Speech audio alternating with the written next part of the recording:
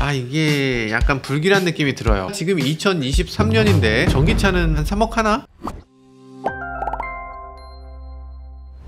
안녕하세요. 모카 김한용입니다. 구독자님들의 메일을 소개해드리는 독자의 메일 시간입니다. 와 오늘은 김기문 구독자님이 보내주신 사진인데요. 와 이게 우리나라에서 우리나라 전기차 충전소에서 촬영이 된 거예요. 마세라티 그란투리스모 폴고레라고 하는 전기 스포츠카가 드디어 나오게 됐는데요. 이 얘기는 뭡니까? 국내에 출시된다는 얘기죠. 그것도 누구보다 빠르게. 이게 이럴만합니다. 최근 들어서 우리나라 명품 소비를 살펴보면요. 이상하게 명품 소비가 우리나라가 중국보다 많고 미국 보다 많고 이게 뭐야? 우리나라 이 정도로 잘 사나? 야 이게 어떻게 가능하지? 그렇기 때문에 당연히 마세라티도 우리나라 굉장히 중요하게 보고 있는 것 같죠? 그리고 전기차 충전소라는 게 아주 놀랍죠? 전기차 그란투리스모라는 증거죠. 야 이게 실화냐 싶습니다. 이거 어떤 상황인지 함께 살펴보시죠 엔진으로 가장 큰 덕을 보던 회사 어떤 회사죠? 네 당연히 마세라티입니다. 왜냐면 마세라티는 사실 따지고 보면 무난 무난한 그냥 포도어 세단이에요. 그래서 거기다가 뭐가 다르냐? 페라리 엔진을 얹어서 만드는 회사는 서 다르다.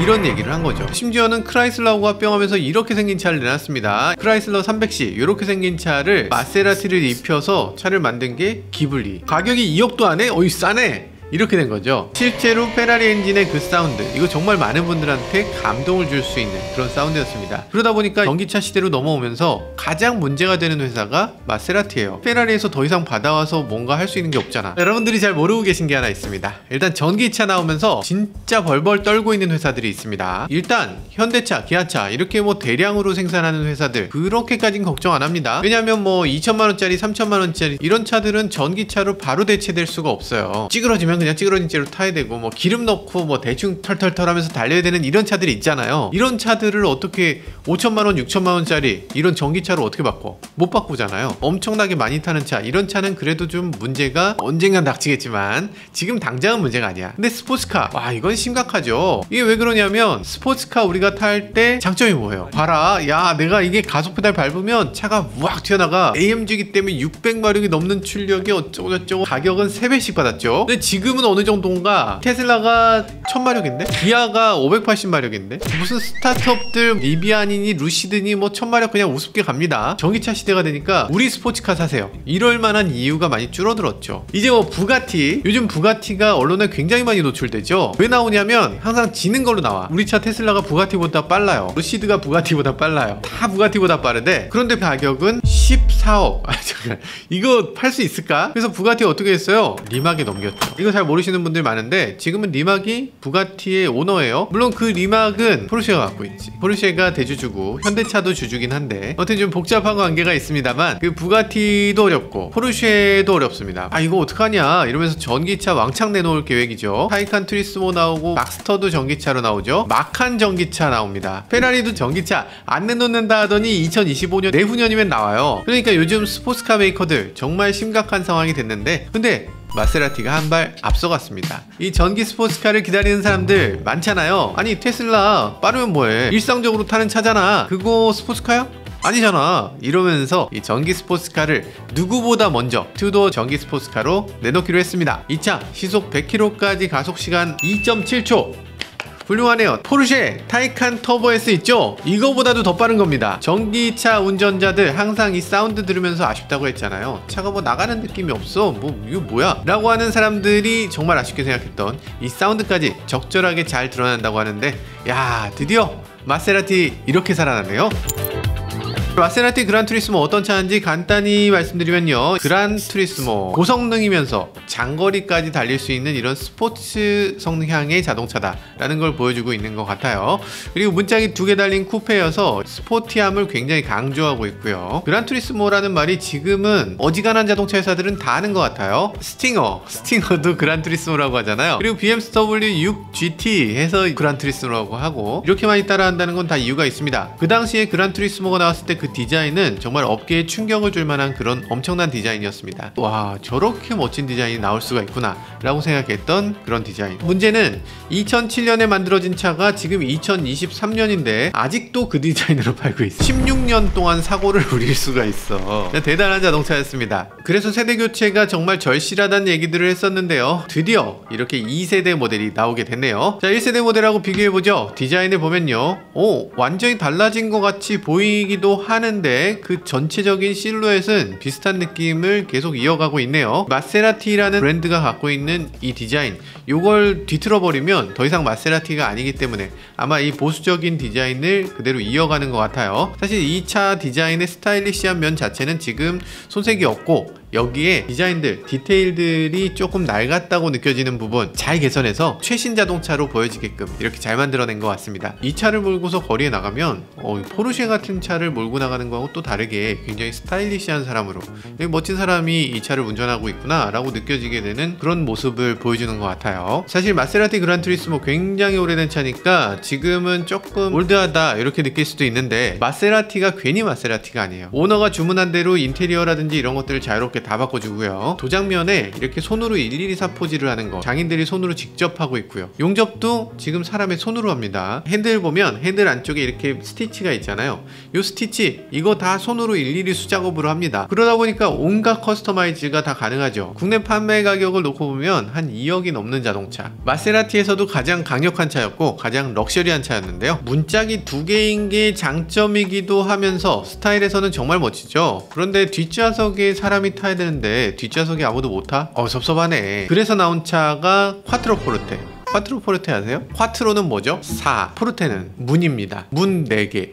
차 이름이 문 4개야. 이 차는 현대 문 4개입니다. 야, 해외에서 먹어주겠는데? 야, 문 4개가 뭐야? 어쨌든 문 4개. 더 비싸고 더 럭셔리한 자동차다. 뭐 이렇게 얘기하기도 했고요. 저는 그래도 그란 투리스모가 제일 멋있는 것 같아요. 자 그러면 그란투리스모 폴고레라는 이름으로 나왔는데요. 이 폴고레는 뭐냐? 이탈리아어로는 번개 이란 뜻이래요. 디자인을 한번 자세히 볼까요? 이렇게 생겼습니다. 오 외관. 오 실내 오 이전하고 비교하면 이게 비교가 안 돼요. 정말 멋있는데? 자 외관 디자인부터 살펴보면요. 전면은 이렇게 생겼습니다. 일단 헤드램프 MC20이라든지 그레칼레라든지 요즘 들어서의 마세라티에 나오는 차들 같은 그런 램프 DRL 이런 것들을 이어가고 있습니다. 그리고 그릴 위치 위치가 마세라티가 정말 낮죠? 내연기관 파생전기차다 해서 이제 보통 그릴 같은 부분을 없애놓기도 하는데 이 그릴이 마세라티 상징이니까 요걸 이렇게 잘 만들어 놓고 있네요. aerodynamic 중요하지만 초 럭셔리 자동차에도 aerodynamic이 꼭 필요한가 질문을 하고 있는 것 같죠 그럼에도 최첨단 기능들은 잘 살려놓고 있습니다 여기 레이더 센서가 있어요 그리고 전면 유리창에 있는 카메라하고 같이 이 레벨 2 수준의 ADAS를 지원한다고 합니다 운전석에서 손 놓고 페달 안 밟고 이렇게 쭉 가준다는 얘기죠. 스포츠 성향의 자동차라고는 하지만 이 차는 어디까지나 그란 투리스모잖아요. 장거리 여행을 할 수 있어야 되기 때문에 이렇게 레벨 2 ADAS까지 지원은 잘하고 있는 것 같습니다. 측면으로 넘어 오면요. 마세라티에 여러 상징이 있는데 이 옆면에 이렇게 구멍 3개가 뽕뽕뽕 뚫려 있는 거. 삼지창으로 옆에 구멍을 푹 낸 것 같은 그런 느낌. 근데 이게 전기차로 넘어오면서 여기에 이렇게 램프가 들어오게 이렇게 디자인을 바꾼 것도 인상적이네요. 폴고레라는 레터링이 눈에 띄고. 이 정도네요. 가만 보면은 가솔린 차인지 전기차인지 딱 구별하기 어렵게 그렇게 디자인이 돼 있는 것 같아요. 측면을 좀 더 보면요. 전고가 지금 굉장히 낮아요. 어 이게 전기차가 어떻게 이렇게 낮을 수가 있나 이런 생각이 들죠. 왜냐면 전기차 대부분이 스케이트보드 플랫폼이라고 해서 바닥 전체에 배터리를 깔거든요. 배터리 높이가 기본적으로 높기도 하고 그 아래쪽 위쪽으로 보강재 같은 게 있어서 높이가 상당히 높아지고 그 위부터 시트를 설치하잖아요. headroom을 확보하기 위해서는 어쩔 수 없이 차체가 높아지거든요. 그러니까 스포츠카 레이아웃을 만드는데 정말 취약점이 있죠. 그래서 요즘 들어서 타이칸이라든지 이런 차들을 보면 어벙벙한 느낌이 살짝 있습니다. 그런데 지금 이 차 전고는 1353mm 어이 이렇게 나죠? 1400이 안 되네요. 이거 스포츠카 레이아웃인데? 이게 어떻게 이렇게 낮게 유지할 수 있었나? 마세라티는 T-bone 레이아웃을 사용하고 있다고 합니다. 그냥 빤빤한 스케이트보드가 아니라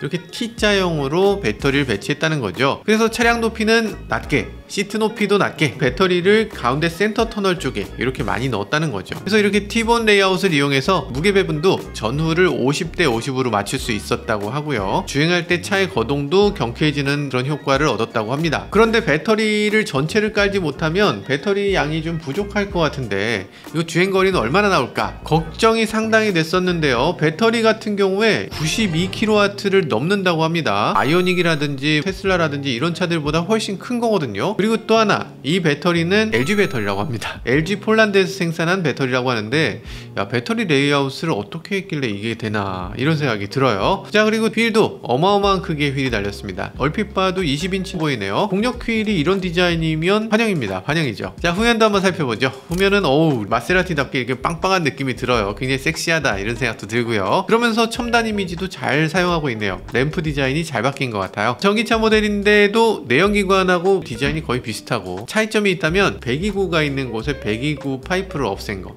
이런 정도의 차이가 느껴지네요. 실내가 완전히 달라졌습니다. 최신 인테리어로 싹 바뀌었고요. 마세라티 중형 SUV 그레칼레 지난번에 나왔잖아요. 요것과 거의 똑같은 인테리어로 바뀐 것 같아요. 아 물리 버튼이 거의 없어진 거. 이것도 굉장히 최신 자동차 같은 느낌을 주고 있고요. 디지털 계기판이 들어갔네요. 12.2인치 들어갔고요. 12.3인치 센터 디스플레이 들어갔습니다. 내비게이션이라든지 음악 스트리밍이라든지 이런 것들을 안드로이드 기반에서 할 수 있게 됐다고 하고요. 센터 디스플레이 아래쪽에 8.8인치 디스플레이가 하나 더 있는데요. 아 이게 약간 불길한 느낌이 들어요. 왜냐면 우리가 그랜저에서 봤던 그 공조 디스플레이 그거 볼 때 조금 아 좀 이랬는데 마세라티에서는 여기 시트 열선이라든지 통풍이라든지 뭐 이런 것들을 켜고 끌 수 있는 버튼이라고 하고 실내 조명 같은 것도 여기서 조절할 수 있다고 해요. 잘 되길 바라겠습니다. 마세라티의 상징처럼 되어 있는 것 중에 하나가 이 가운데 시계가 있는데 아날로그 시계가 사실 상징인데 디지털 스마트워치로 바뀌었다고 합니다. 조금 이상한 기분이 들죠. 정말 팔에다 차고 있는 것처럼 그런 기능은 당연히 아니겠죠. 디지털 디스플레이라고 그냥 읽으면 될 것 같습니다. 시계뿐 아니라 배터리 충전량, 크로노그래프 이런 것들의 기능을 할 수 있다고 해요. 오디오는 어떤 게 들어가나 이런 것들도 이제 관심이 많으시죠. 오디오가 소너스 아우디 Q4에 들어간다고 했던 그 소너스 말고요. 소너스 파베르라고 하는 사운드 시스템이 들어갑니다. 소너스 파베르 아시는 분들 많으시죠. 오디오의 계급도라는 게 있달까? 바워스 앤 윌킨스보다 오히려 조금 위로 느껴지는 그런 브랜드죠. 왜냐하면 이게 바워스 앤 윌킨스 같은 경우는 저가 오디오도 많이 나와요. 겨우 250만원짜리 스피커도 막 나오거든요. 그런 생각이 들고요. 스피커는 지금 19개가 장착된다고 하고요. 요즘 자동차답게 3D 사운드 시스템 적용됩니다. 여러 번 말씀드렸지만 이 스피커의 레이아웃을 이렇게 수평적으로 놓는 게 아니고 이 위쪽에도 스피커를 둬서 실제 녹음할 때부터 이 3D로 녹음이 가능하고 그래서 3D로 이 위쪽에서 들리는 소리까지 이렇게 같이 적용해 주는 거예요. 자 그리고 마세라티 하면 당연히 배기음을 들어야 되겠죠. 전기차에 와서도 제대로 배기음을 느낄 수 있게 해줍니다. 이 내연기관에 배기음 엔지니어들이 별도로 많이 있었어요. 마세라티는 원래 배기음 엔지니어들이 유명했죠. 그 사람들이 똑같이 전기차 사운드 엔지니어링을 했다고 합니다. 그래서 전기차 사운드를 어떻게 하면 이 운전자가 계속 들으면서도 지겹거나 꺼버리거나 이러지 않고 이걸 즐길 수 있을까? 이것에 대해서 굉장히 연구를 했다고 합니다. 그러면서 이 3D 사운드 시스템과 같이 결합하면 내연기관에서 들리던 감성을 그대로 느낄 수 있다고 하는데 아 요거 참 애매합니다. 전기차 사운드에서 옛날에 엔진 사운드를 그대로 틀어준다고 해도 그냥 웃기기만 해요. 그래서 그걸 그대로 틀어줄 수도 없고 우주선 사운드처럼 막 슝 이런 소리가 난다고 해서 짱이네 이러는 것도 아니고 정말 그 딜레마 있거든요. 어떤 소리를 내야 될지 정말 고민을 많이 하고 있는데 아마 마세라티라면 그 답을 알고 있지 않을까 그런 생각이 들기도 합니다. 자, 이 차에서 가장 중요한 거 뭘까요? 당연히 파워트레인인데요. 요번에 마세라티 그란투리스모 폴고레 모터를 3개 장착하는데 최대 출력은 760마력 이상이라고 합니다. 뭐 놀라운 건 아닙니다. 루시드 에어 같은 경우도 루시드 에어 사파이어라고 해서 최종 끝판왕 모터 3개 달린 차를 내놨고요. 테슬라도 모델 S 플레드, 뭐 사이버 트럭 이런 차들의 끝판은 모터가 3개씩 달려있죠. 이렇게 대단한 자동차들을 tri 모터라고 해서 기존에 있었던 이 dual 모터보다 한 단계 더 앞선 이 스포츠 자동차의 반열에 넣는 이런 모터 시스템이라고 할 수 있어요. 그래서 마세라티도 엄청난 출력을 내고 있는 거죠. 근데 지금 모델 S 플레드 모터 3개 가지고 지금 1020마력을 내거든요. 거기에 시속 100km까지 가속 시간이 2.1초. 이거 너무 넘사벽 아닌가? 약간 그런 생각이 드는데 어쨌든 테슬라 그렇게 스포티하게 안 생겼잖아. 자, 그래서 급속 충전도 테슬라보다 조금 더 앞설 수 있을 것 같습니다. 최고 270kW급 급속 충전을 지원한다고 합니다. 그래서 20%에서 80% 까지 충전하는데 불과 18분. 야 진짜 빠르네요. 이렇게 큰 배터리를 사용하고 있는데 이 정도라면 괜찮은 게 아닌가 싶은 생각이 들어요. 그런데 이 차는 장점만 있는 건 아니죠. 전기차의 수명 공차 중량이 무거워요. 무게가 2톤이 훌쩍 넘는다는 거죠? 2260kg 근데 EV6 GT가 2.16톤이거든요? EV6 GT하고 비교하면 뭐 100kg 정도 무거운 거니까 그렇게 안 무거운 것 같기도 하고 그런 생각이 듭니다. 근데 어쨌든 중요한 건 이 무게를 이길 수 있는 건 아무것도 없거든요. 힘이 세면 셀수록 가속은 잘 되지만 코너링으로 들어가 보면 이 전기차는 어쩔 수 없이 코너링을 잘할 수 없는 이런 숙제를 갖고 있어요. 그래서 미끄러질 수밖에 없다. VDC가 막 계속 개입 될 수밖에 없다. 이런 것들이 조금 아쉬운 점이라고 할 수 있어요. 그럼 우리나라에도 나오게 될 그란투리스모 폴고레 언제 나오나 생각보다 얼마 안 남았습니다. 올해 2분기부터 고객 인도가 시작된다. 이렇게 발표하고 있어요. 빠르면 4월에 나온다는 얘긴데 지금 2월이잖아요. 다음 다음 달부터 나온다고? 국내에서도 그렇게 살 수 있는 그건 아니고요. 국내 출시 당연히 되긴 되겠지만 올해 말쯤에 출시될 예정이라고 하고요. 가격은 어떻게 될까? 전기차 모델은 아직 가격이 공개 안 됐는데요. 가솔린 모델의 가격은 공개가 됐습니다. 미국 기준에서 기본형의 가격 이 17만 4천 불. 우리 돈으로 2억 2천만 원 정도 되네요. 전기차는 한 3억 하나? 시작 가격부터 어마어마하죠? 이거 혹시 구매하고 싶으신 분 계신지 이 댓글로 한번 남겨주시면 좋을 것 같습니다 고성능 전기차 시장 따지고 보면 테슬라가 완전히 독식하고 있었거든요. 그러니까 모델 S에 대항할 만한 자동차가 그동안 딱히 없었습니다. 이제는 기존 자동차 회사들이 좀 뭔가 반격을 하고 있는 걸로 보이죠. 포르쉐 같은 경우는 타이칸의 부분 변경 모델을 내놓는다고 하면서 이렇게 tri 모터를 탑재한 모델이 나온다고 하고요. 심지어는 제네시스도 나옵니다. 전기차 컨버터블을 내놓으면서 이걸 최고 성능을 갖춘 럭셔리 전기차로 내놓겠다. 이렇게 발표하기도 했죠. 물론 테슬라가 물량에서 앞서가기 때문에 전체 볼륨으로 놓고 보면 테슬라가 압도적이겠지만 슈퍼카, 스포츠카 시장에 놓고 보면 이 테슬라가 하지 못하는 부분을 만족시킬 수 있는 회사들이 꽤 많을 것 같습니다. 특히 마세라티가 잘하는 거 이렇게 일일이 손으로 만들고 일일이 소비자들을 위해서 뭔가 특별하게 만들어주는 거 이런 것들은 사실 테슬라 같은 회사가 절대 할 수 없는 부분이죠. 아마 이 독특한 시장이 분명히 발생할 걸로 보여집니다. 그런데 전기차 시대의 정말 중요한 부분 뭐 예를 들어서 테슬라의 운전자 보조 시스템, 테슬라 FSD 이런 것들을 기존 자동차 회사들이 잘 따라갈 수 있을까 이런 것들이 또 관건이 될 거란 생각도 듭니다. 지금까지 저는 모카 김한이었습니다. 감사합니다.